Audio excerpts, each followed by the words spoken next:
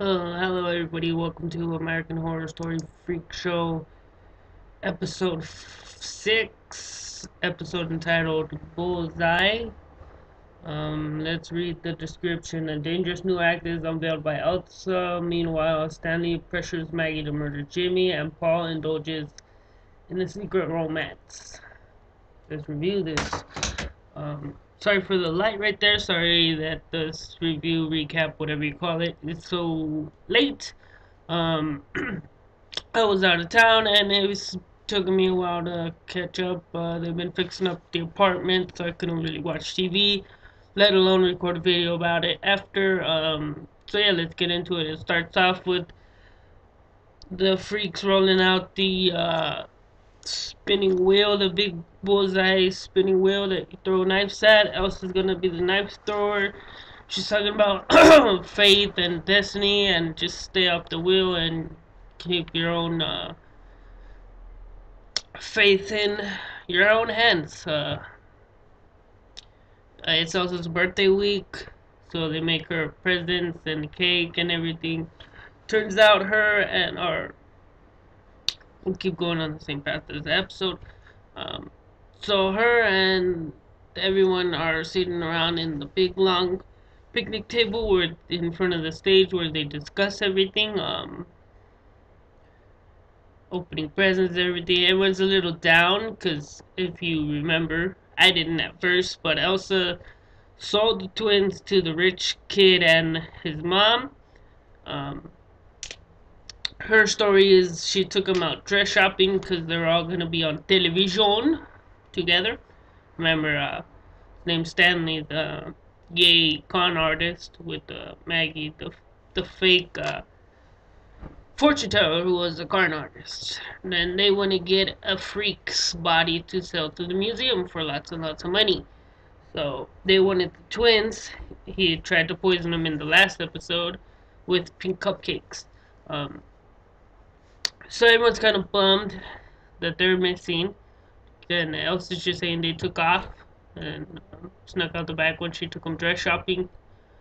Uh, Jimmy asks if they said where they were going or anything, or where they left, and Elsa bursts out with no, and she's upset, talking about how she, their family, and they took everybody in, and they just took off.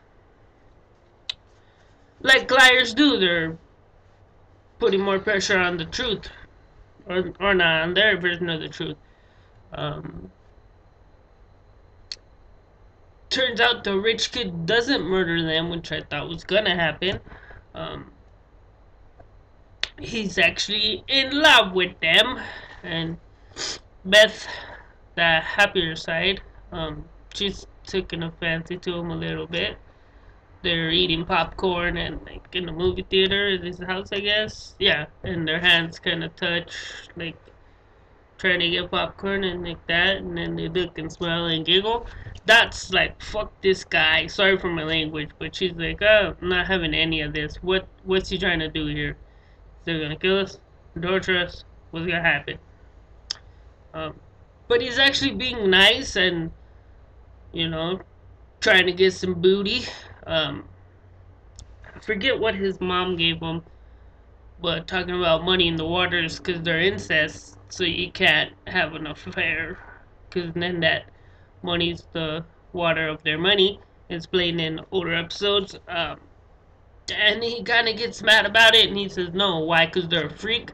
Well, I feel normal when I'm with them, so he's actually kind of happy and feels accepted. Like, oh, I get it now with the freaks and uh, not the freaks, the two other ladies.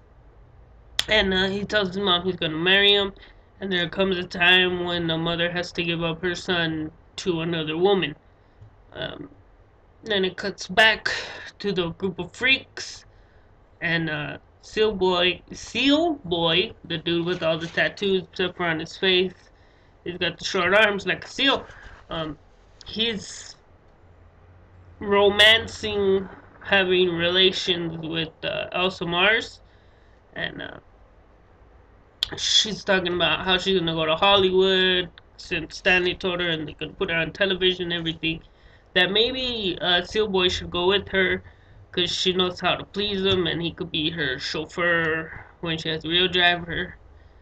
And uh, she asks him if he's if he's catching feelings, but uh, they don't do that. You know, she tells him like, no, we don't do that. This is just a pure pleasure type of thing. And um, turns out he's having an affair with another, not an affair, but uh, falling in love with a regular woman who used to be in the freak show and uh, they would have relations in front of an audience and uh, um, asks him like what's what's wrong? Like we you didn't have any trouble when it was in front of an audience. And he says oh that was different. Now now I'm in love with you. Um, and they're having like a sweet little moment. And then her dad shows up and like pounds on the door and excuse me um, screaming like who are you talking to? Why is this door locked? And she comes in and uh, apparently she's the runaway before to the freak show.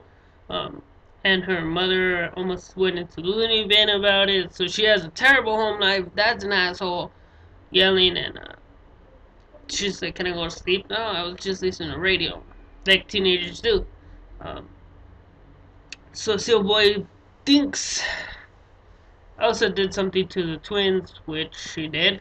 Um, and he bumps into the uh, the rich kid at the I guess like a Rite Aid type of deal. The the market I guess, but like not supermarket, but like a like a Rite Aid. Like he's buying perfume for the chick that he he's in love with, and uh, the cashier guy doesn't want to sell it to him because he's a freak. Um,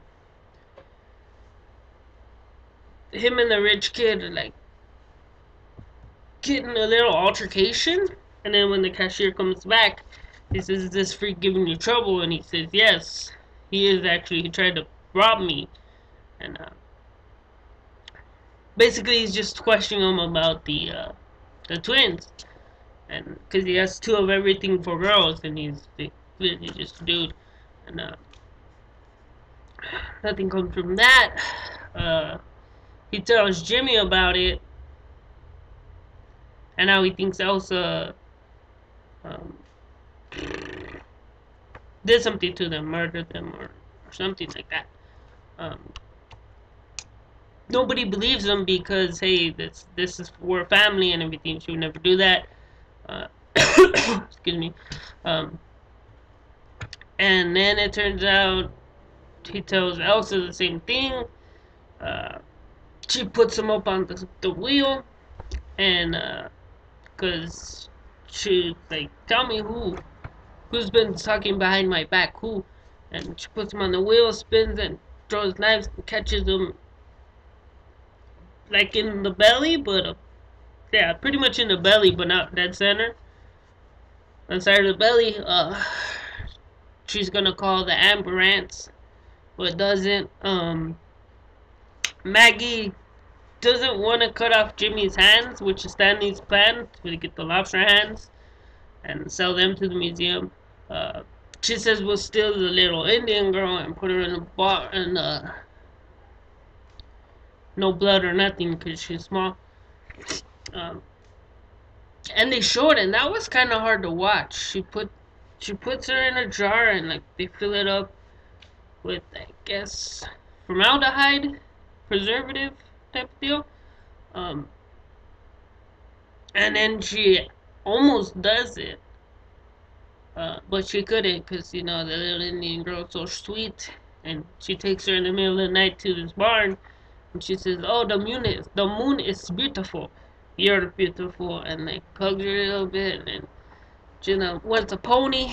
And um, Jenna put her in a jar like a butterfly. And she keeps like pretending and does the little thing with her hands like a butterfly.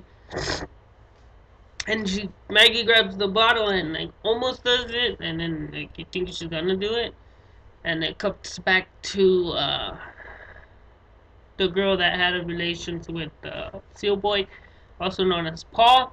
Um and her dad, she's like sneaking out in the middle of the night to go see Paul, and uh, her dad pulls out the shotgun on her.